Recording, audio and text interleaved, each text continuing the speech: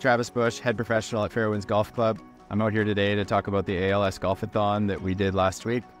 On June 19th, the Wednesday, we did the ALS Hole in One Shootout and Banquet. We had 60 people attend the banquet and even more trickle out onto the 10th hole for our hole in one shootout.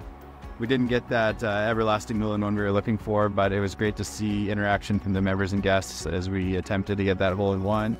Got a great early start on raising funds for the next day, which was our golfathon. On the 20th of June, we golfed from 5 a.m. till 10 p.m. It was myself, Colton Sheets, Austin Doherty. We did 126 holes, just seven full rounds of golf. Made a bunch of birdies, had a whole bunch of fun. Uh, event was a great success. Got down to the financials of what we raised for ALS, and the total came to $14,770 raised. So thanks for all the support from other members of guests. The event was great.